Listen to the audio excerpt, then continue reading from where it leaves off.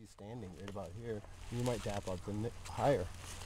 Uh, but the whole idea is to look where the branches come out because there's going to be a main vein that's feeding a branch and where your roots come in. Like this tree seems to curve towards this way and the sun comes from this side. So anywhere pretty much on this side, there's a lot of branches on this side that were cut off. So there is uh, arteries in the tree. And we know it's right in here because we just poked it. So we want to utilize the same hole. And we go in slightly at an angle upward.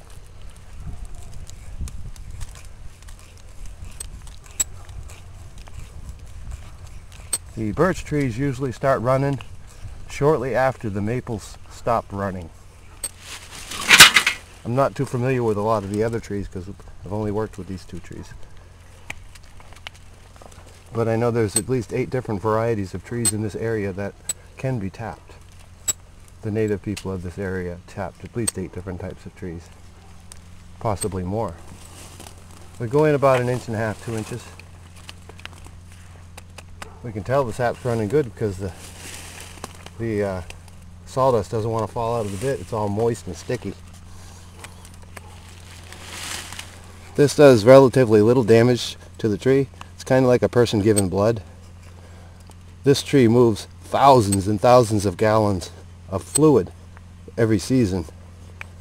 Every day, hundreds and hundreds of gallons are flowing up and down this tree. We're only tapping into about 2%. Okay, we got the spigot.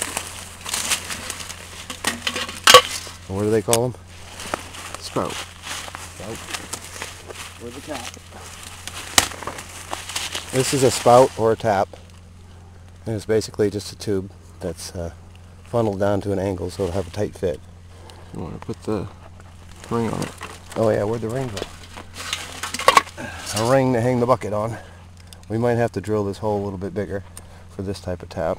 There's several different types of tap, but the idea is the same.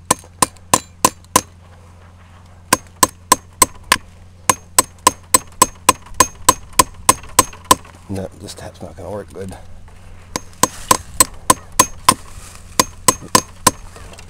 We're going to have to drill it more for this tap. But that's the process, and then we hang the bucket up. Oh, it's working. Oh! You just didn't do it deep enough for that.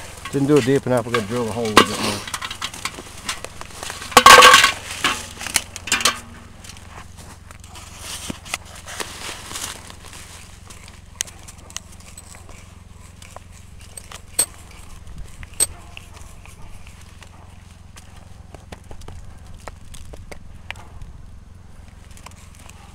Plus where that sawdust is full of sap, it's sticky. It's having a hard time clearing the hole.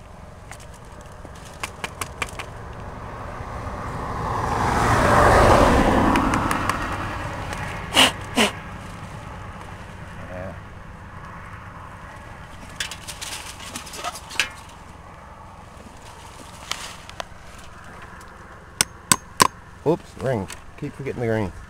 There's a blooper. Yeah, edit that one out. No such. Staying in. It's upside Plus, down it's now. chilly today. Yeah, it is. Feels like fall. But it ain't slowing down the flow on the birch. It's running fine.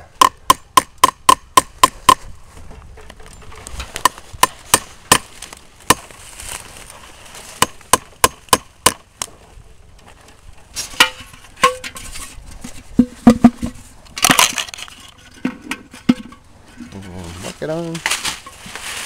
And then the cover. It's already dripping pretty good. Yeah. There's all kinds of different designs for buckets and taps. Some native cultures just sliced a, a slash sideways in the tree and made a trough out of bark and directed it into containers. But yeah, that's dripping pretty good. But when it warms up and the sun hits it, it'll drip a lot faster. This bucket will fill up probably one and a half times today.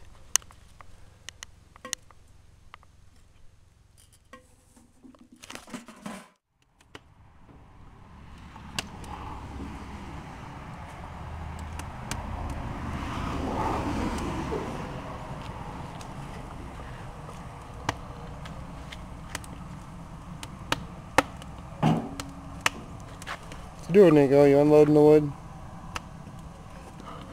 Doing a good job. Oh, you're trying to break it now?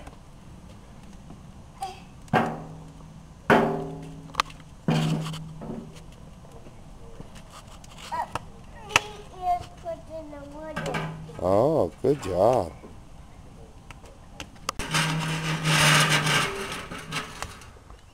What are you doing, Niko? You pushing the wheelbarrow? Holy cow.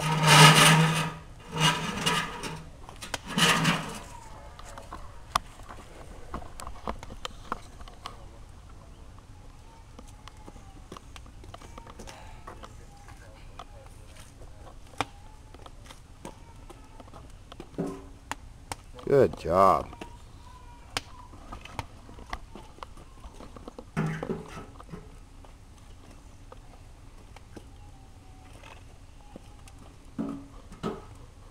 Niko's a hard worker. Getting the firewood ready for us for our tapping, I mean our sap cooking operation we got going on here. We got a wood stove with a pot on top of it sitting out here in the yard. And the pot's full of birch sap and we're cooking down birch syrup. We're going to make a medicine with it, cough syrup. And we're going to add the mushroom chaga, a, a polypore that grows on the birch tree. That has wonderful medicines, very similar to the birch medicine. And we got white birch and uh, yellow birch sap mixed together in the pot, cooking down. And we're chopping up some uh, branches and stems of the black birch and the yellow birch, which have the uh, wintergreen flavor in it. And we're going to put that in the pot with the sap and cook it down with it to capture that flavor.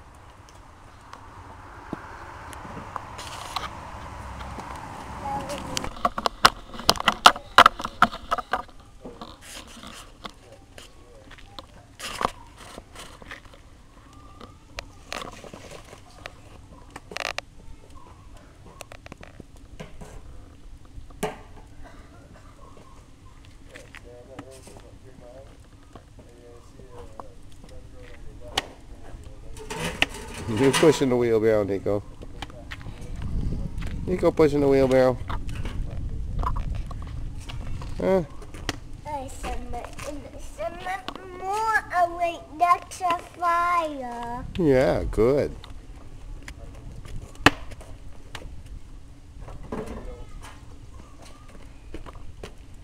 And there's some right next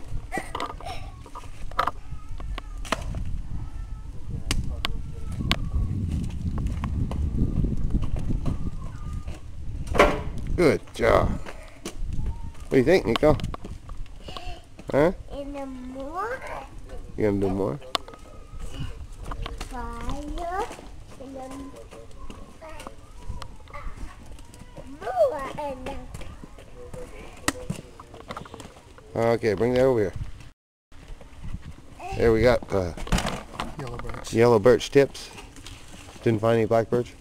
I've never identified black birch. There's some that I thought might be, but I didn't want to. Okay, we're gonna go. It's still got lots of wintergreen flavor in it. Did you taste it? Chew on the end of the stick. Yeah, take a little piece. Chew on it. Part of the experience of being an herbalist is to commune with the plant with all senses. The sun. You wish you had your mohawk, man, because the sun's right behind you. You gotta move this way. What are you doing, Niko? Nicholas put in this thing. Fire. Does it have wintergreen flavor? Mm, yep. It didn't for a little bit until you said it.